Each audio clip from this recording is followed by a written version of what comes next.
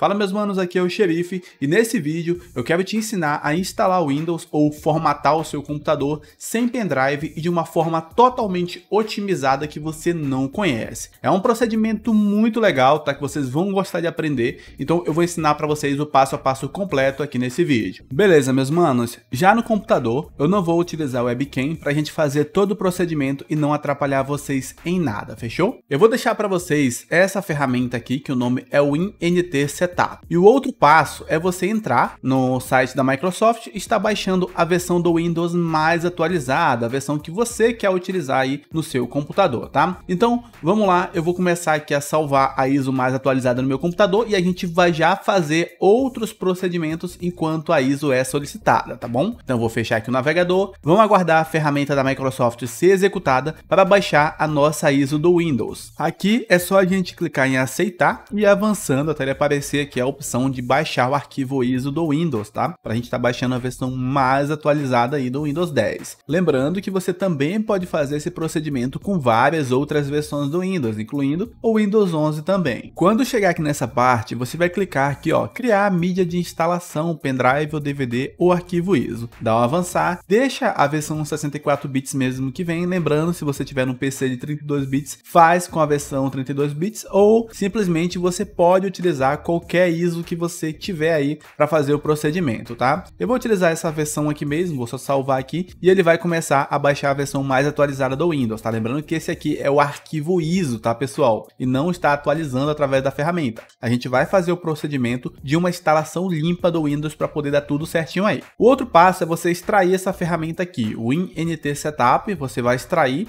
ela para uma pasta na sua área de trabalho e vai deixar já certinho aqui. O outro passo é você entrar no explorador de arquivos arquivo do seu PC e aqui vai estar listando, né, o seu HD, que é o HD do seu computador que você está utilizando no momento. Você vai ver quanto de armazenamento livre tem aqui, tá? E a gente vai diminuir uma partição daqui para poder ter um tamanho legal aí para fazer a instalação do Windows. Lembrando que esse procedimento aqui, você não vai perder seus arquivos, você depois consegue pegar seus arquivos certinho para colocar no seu PC. Então vamos lá, meus manos. Eu tenho aqui 100 GB livre, né? Eu vou clicar com o lado direito sobre este computador, vou vir até gerenciar e vamos aguardar ele abrir aqui o gerenciador. Aqui em gerenciador de disco, vamos aguardar ele carregar tudo aqui. E aqui, pessoal, observe que eu tenho aqui o meu HD íntegro, tá? 119 aqui, que é um SSD de 120 GB. A gente vai clicar com o lado direito sobre ele e vai colocar aqui, ó, diminuir volume. Coloca diminuir volume, aguarda ele carregar aqui e aqui ele vai aparecer o tamanho todo do meu HD, tá? Você pode usar alguma calculadora para calcular os gigas aí do seu HD, quanto você quer diminuir, mas eu vou levar como consideração 82 mil megas, que dá cerca de 80 gigas mais ou menos, tá? Então você pode fazer isso também. E para o meu outro sistema, né, que já tem meus arquivos, vão sobrar 40 gigas aqui mais ou menos, tá? Então eu tô conseguindo liberar 82 porque ele tem ali livre, tá? Se você não tiver livre, ele vai deixar você liberar somente o que você tem, tá bom? Então clica em diminuir, ele vai aparecer aqui uma partição não alocada, tá? Observe que não alocada 80 gigas. Você vai clicar com o lado direito sobre ela e vem até novo volume simples. Feito isso, você vai avançando aqui até ele habilitar essa partição. Observe que ele fica aqui, ó, íntegro partição primária. Você vai clicar sobre ela e vai clicar aqui, ó, marcar a partição como ativa.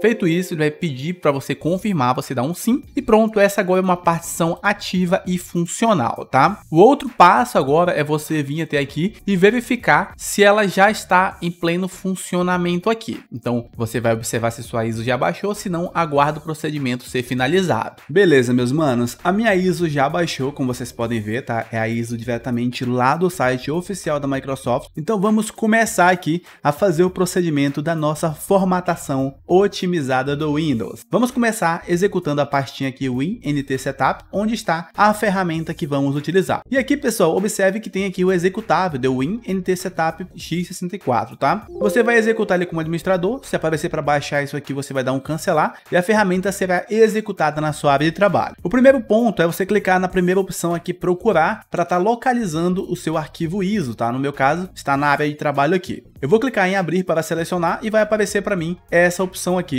para escolher a versão 32 ou 64 bits. Você, você escolhe de acordo com o que você precisa aí. Eu coloquei 64 bits e observem aqui que a segunda opção é para a gente selecionar o HD onde a gente quer instalar o nosso Windows, tá? Você pode utilizar o que você criou mesmo aí, que é no caso o de 80 GB ou depende do tamanho que você criou, tá? Eu vou selecionar aqui, ó, o de 80 GB, tá? Lembrando que o outro está com esse Windows que está atualmente no PC. Então, o procedimento agora é você verificar essas três bolinhas aqui se estão todas verdinhas. Se você seguiu todos os procedimentos que eu passei para vocês, fez certinho desde o início, tem que estar tá tudo verde aqui, tá? Se tiver tudo verde, perfeito, vai dar tudo certo. O outro ponto aqui, ó, selecione o local do disco de instalação. Você vai selecionar o mesmo HD, tá? Pode selecionar o mesmo local aí, por exemplo aqui, HDD de novo volume 80 GB. Feito isso, você vai colocar aqui, ó, unidade de instalação será C e vincular letra de disco, tá? O outro ponto é você mudar aqui a versão que você quer. Ó. Opções aqui você tem em versão Home, Home Single, Pro, Education e pode escolher aí a que você preferir. Outra coisa bem legal aqui é que você pode fazer uma instalação não assistida do Windows, ou seja, você já faz a pré-configuração selecionando esse arquivo aqui, você já coloca nome, tudo que você quer, só preenchendo essas linhas aqui. Então, meus manos, observe que eu preenchi de qualquer jeito aqui só para a gente fazer o tutorial, depois é só você apertar no X. E a partir daqui que a gente começa a fazer o modo de instalação otimizada, tá? Começando aqui em modo, você vai colocar Compact LZX, que é para o Windows instalar de forma super compacta e economizar bastante espaço no seu HD. Depois disso, você vai clicar aqui em modificações e aqui vai ter várias funções que você pode habilitar para deixar o seu Windows já otimizado de primeira. Então, beleza, aqui nessa parte a gente começa a fazer as configurações. Observe que tem várias coisas que você pode fazer, como desativar o arquivo de paginação, desativar serviço do Windows Search, que é a indexação do Windows. Pode desativar aqui também o modo de hibernação, pode desativar o Windows Defender, né, que é bem interessante também para quem não gosta de utilizar. Pode remover o OneDrive Setup, se você não quiser, pode desativar o espaço reservado do Windows, que vai liberar bastante espaço no seu HD, e pode fazer muitas outras coisas para deixar o Windows já interessante no primeiro boot, tá pessoal? E caso você tenha um arquivo de registro também, de otimização, alguma coisa assim, né, você já pode adicionar a partir daqui também, tá? Fez tudo o que você quer, deixou do seu jeitinho aqui, você simplesmente pode clicar no X e depois dar uma, uma olhada que está tudo certinho e é só clicar em instalar. Feito isso, ele vai pedir essas opções aqui para vocês, tá? Sobre o boot, etc. Eu recomendo deixar tudo isso aqui no automático mesmo, só desmarca essa caixinha aqui, tá? Se tiver marcado, para ele não reiniciar automático após a instalação, tá? Então, simplesmente clica em aceitar e aguarda aí o procedimento ser finalizado. Assim que estiver terminando aqui, eu já volto para mostrar para vocês o resultado final. Então, beleza, meus manos, assim que ele finaliza aqui todo o procedimento, ele dá essa mensagem aqui na tela pedindo para você reinicializar o seu computador, tá? Como a minha placa de captura ela não captura o boot do computador, né? ela não pega o computador reinicializando, eu vou passar direto para nossa câmera aqui, que é para você conseguir acompanhar o processo e ver que deu tudo certo.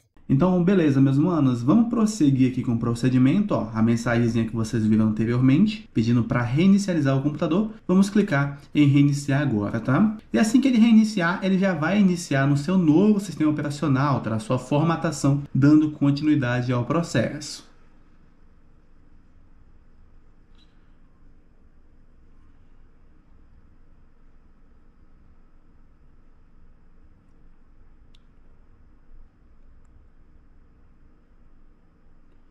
Então observe que ele está finalizando a etapa de instalação do Windows, né? Tem a bolinha rodando ali no meio. Então, sinal que deu tudo certo e seu Windows já vai inicializar, tá? Iniciando serviços, né? É o novo sistema que está instalado nesse momento, ó. Preparando-se, vamos aguardar ele terminar de inicializar para me mostrar para vocês como é fácil resgatar os seus arquivos do outro sistema operacional, né? Da outra partição lá que ficou com o Windows antigo. E logo em seguida ele já pula para essa tela aqui, tá, pessoal? Ele não faz configuração inicial inicial, até porque a gente fez lá o procedimento da instalação não assistida, correto? Então vamos lá, a gente fez uma formatação otimizada, tá? Então esse sistema aqui, ele não é tão pesado, ele não vai ficar tão pesado, né? Lembrando que é a ISO totalmente oficial, você só fez uma formatação otimizada, tá? Observem aqui a partição que a gente criou, é onde o sistema atualmente está instalado, e aqui está a nossa partição do nosso Windows antigo, né? Onde estão nossos dados, nossas coisas. Então, por exemplo, ah, eu quero pegar meus arquivos que estão lá na outra partição, no outro, no outro Windows. Você vai lá, ó, unidade E aqui, que ela vai mudar a letra. Você vem usuários, né? Você vem aqui até usuários, vem até use ou seu nome vai estar aqui. E aqui você dá um continuar. E se você tiver dados, né? Eles vão estar aí, área de trabalho, vão estar em documentos, imagens, tá? Por exemplo, ó, a nossa ferramenta está na área de trabalho. Eu posso salvar ela se eu quiser, tá? Mas aí você faz o procedimento. Depois que você fez o procedimento, é, salvou tudo que você queria, você pode simplesmente formatar o HD anterior e usar como partição para salvar os seus arquivos, tá? É super tranquilo isso aí. Mas vamos lá, a nossa formatação otimizada, ela fica consumindo bem menos do Windows. Observe o tamanho do nosso Windows. O nosso Windows, por padrão, era para ele consumir quanto? 27 GB do nosso HD. Com a formatação otimizada, observe que ele está consumindo aqui somente 5 GB e 49. Então é muito pouca coisa, tá? Tá bem mais leve do que era o Windows atualmente. Então, um ponto bem bacana aí é o tamanho do Windows, ficou com apenas 5 GB. A outra coisa aqui é o consumo de disco e desempenho da CPU, que melhora um pouco, tá? Observe que tamo, estamos apenas com 108 processos aqui, né? Normalmente seria 130, 125, até por aí nessa base. Memória RAM 1,2, o padrão seria 1,6 em diante, tá? O Windows 10 Pro, ele é pesadinho. Então, com essa formatação otimizada, o seu Windows está muito melhor é uma formatação sensacional. Eu te recomendo que favorite esse vídeo porque ele sempre vai te ajudar, beleza? E é isso, meus manos. Um grande abraço.